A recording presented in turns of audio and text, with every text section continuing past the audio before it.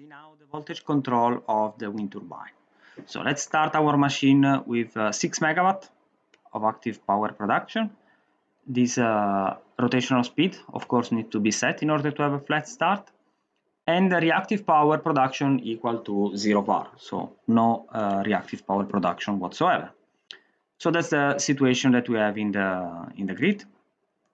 Values are set here in the load flow page. I'm using the model with uh, resistances, reactances, and capacitances in the in the line.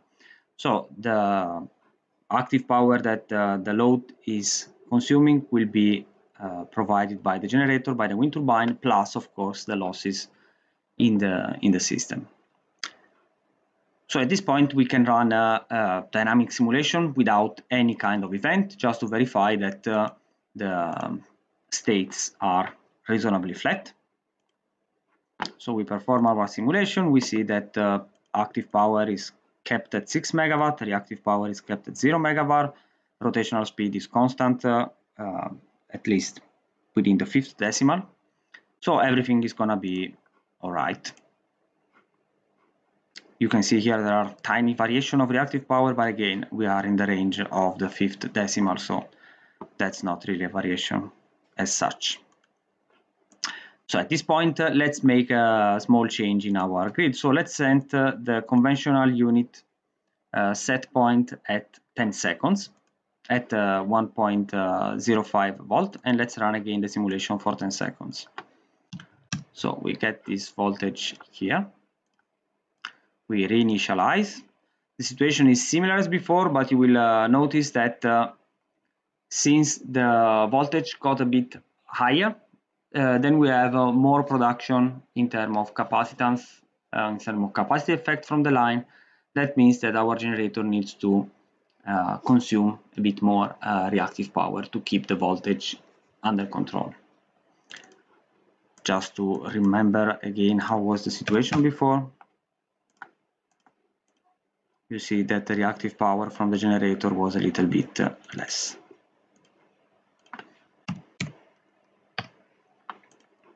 Right, let's run our 10 second simulation. And then we see that at the end of the simulation, uh, the wind turbine actually is consuming also uh, 2.3 megavar. So it's not 0 megavar anymore. Why is that? So we need to uh, look closer at uh, the voltage uh, results of the wind turbine. And then we can see that uh, if we zoom here at the very beginning of the simulation, we realize that uh, the reactive power consumed by the machine is zero, as it's supposed to be, because that's a load flow value. But then it suddenly increases, and it increases according to the dynamic voltage controller that is uh, present inside the wind turbine. So within few tenths, um, hundred of milliseconds, the um, the voltage the reactive power gets closer to 0.33 uh, in per unit. So where is this value coming from? This value is coming from uh, this characteristic that you find here under the curve Q, UP. Uh, under advanced 2, you see that uh, this lookup table is uh, setting the generator to produce according to the measured voltage and according to the measured active power production a certain amount of reactive power.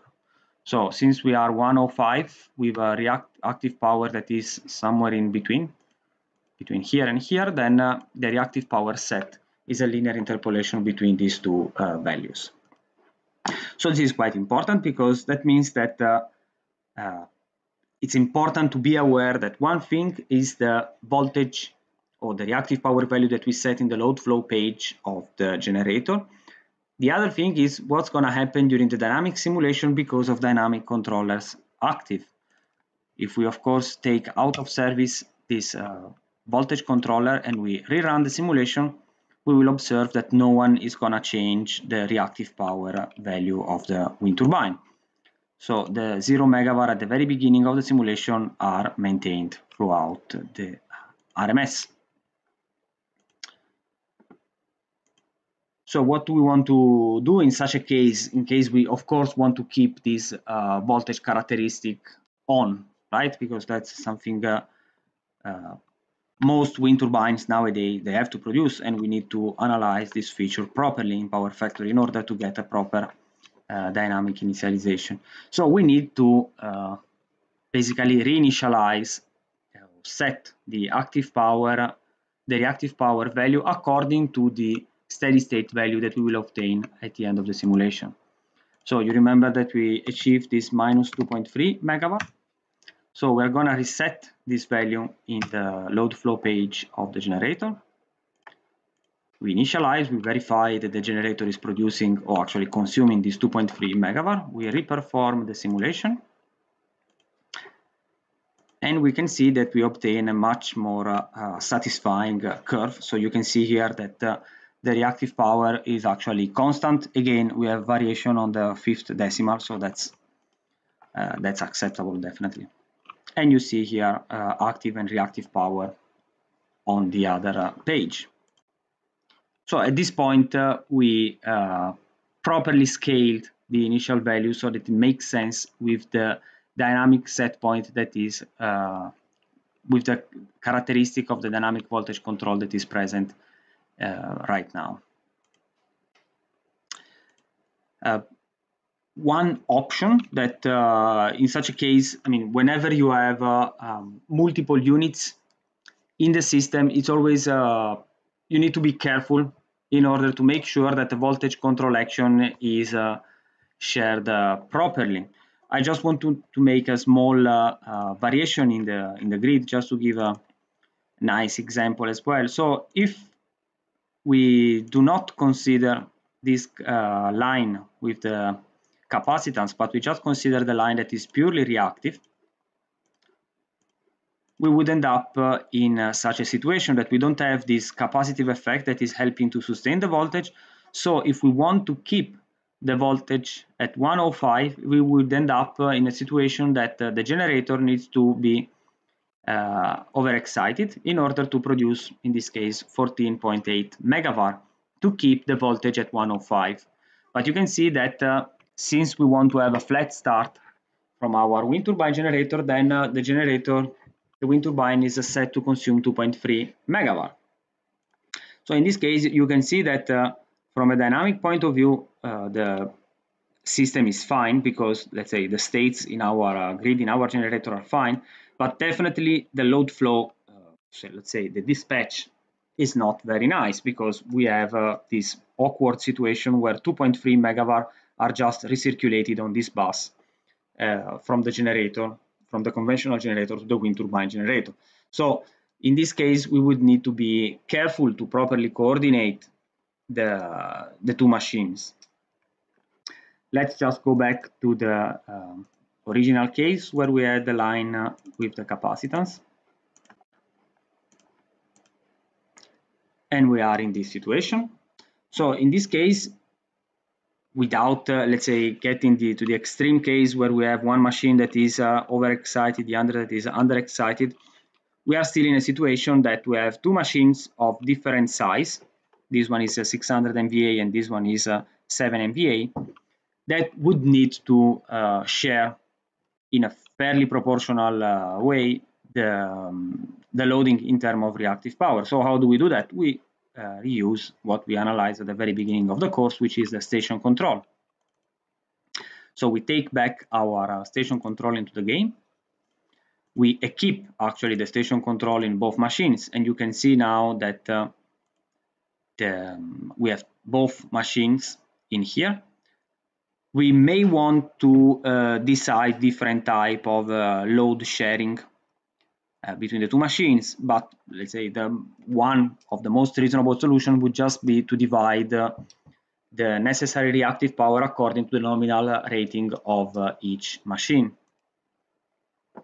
So in this case uh, let's remember that all the settings that will be set here will be um, override by the um, will be overwritten by the um, by the voltage by the station control. So what we get now is that uh, uh, basically it's doing the job all the it's just a conventional generator which is of course is the largest of the two uh, that is doing all the job again we want to reperform our dynamic simulation and see that everything is working fine and again we end up in this uh, situation that the wind turbine generator consume 2.3 megawatt because again it's a case of the uh, local voltage controller uh, dynamic controller of the uh, wind turbine that is taking over during the dynamic simulation. So also in this case, we need to remember that uh, uh, either the reactive power set or the reactive power set by the station control, uh, they are both properties of the load flow. So they will apply just at the load flow. Then throughout the dynamic simulation, uh, local controllers will just take over the role. So if we want to make a proper uh, distribution, then we would need to adjust the characteristic also of the uh, dynamic voltage control that we have in our uh, wind turbine. So one possibility for this specific dispatch would be to say, okay, I don't want to have, uh, uh, I want to have my wind turbine, uh, let's say, not to produce any reactive power until the voltage is 105 and then I would like to start producing when it's 106 and so on. So in this case, we rerun the simulation and we see that uh, we have again, uh, um, not here, this one here, we have again a flat start in terms of uh, reactive power. So you see here, the, in this case, the difference is just on the fourth decimal. So there is just a small dynamic that we can uh, uh, easily accept.